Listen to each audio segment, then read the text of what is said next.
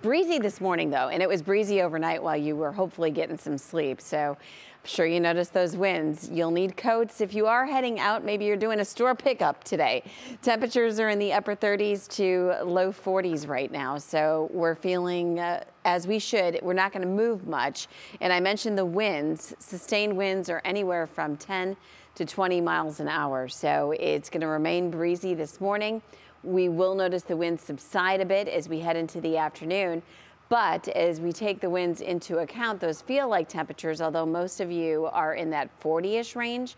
Right now, wind chills are in the 30s in most locations. So here's a look at some numbers. 46 is the average high and 33 is the average low. So even with wind chills, we're talking exactly where we should be. This is really a seasonal forecast here as we're starting the new week and the last few days in November, I might add. And on our regional temperature map, we do see much colder air to our northwest. So I'm sure you're curious if we'll see any of that in our seven day forecast. Stay tuned. We're looking pretty mild and it's going to get even milder as we go into the next 24 to 36 hours. Not much happening on our Monday timeline. I mean, it's pretty much just horizontal and low 40s all the way through partly to mostly cloudy skies. Overcast, definitely going to win today. Shower chances, I mean, they're there, but they're only about 20, 30%. So if you want to take the umbrella just in case, but this is more like that just isolated, isolated spritz or just light, light rain shower. It'll pass. Our National Design Mart forecast really illustrates this perfectly. You'll see those little dots of green, and that's about the extent of it.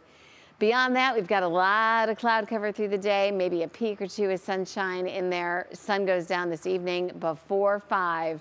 Sunset is actually at 4.58 tonight. Boy, these days are getting shorter. And as we do take a look at what's ahead for later on tonight and overnight, it's more overcast skies. It's also going to help keep our temperatures in that 30-ish to 40 range again. And then tomorrow is going to be an even milder day. Again, partly to mostly cloudy skies, but we are planning on highs in the 50s. This is a view from tomorrow at 2 o'clock in the afternoon, so that'll be nice. If you maybe still have some of those Christmas lights to get up, tomorrow's the day. I'm going to go with tomorrow for you.